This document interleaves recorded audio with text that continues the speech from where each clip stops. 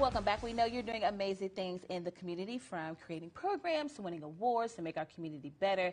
And so we want to give you a shout out. So here's a look at today's Good Day NWA shout outs. Now, first up, the first shout out is going to be going to some very special kids at the Children's Safety Center of Washington County. Over the weekend, the Junior League of NWA held its Purple for a Purpose 5K.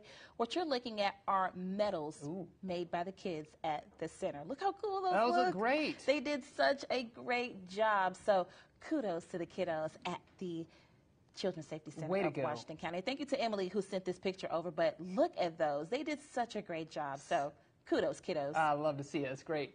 The Fayetteville Film Fest did take place over the weekend. Shout out to all those volunteers that made the event possible. And as part of the event, filmmakers were invited to pitch their film ideas to a panel of judges in order to secure $2,000 in money and a guaranteed spot to screen their short film at next year's fest. So shout out to all the five finalists there. And the judges had such a difficult time deciding between the finalists that all five of them ended up receiving at least $1,000. And the Nice. winner received the full $2,000. That's $6,000 overall in prize money provided by Rock Hill Studios. So big congrats to winner, our friend Jules Taylor took home the award. What? Yes. That's awesome. Congrats, Jules. Yes, it's cool to see.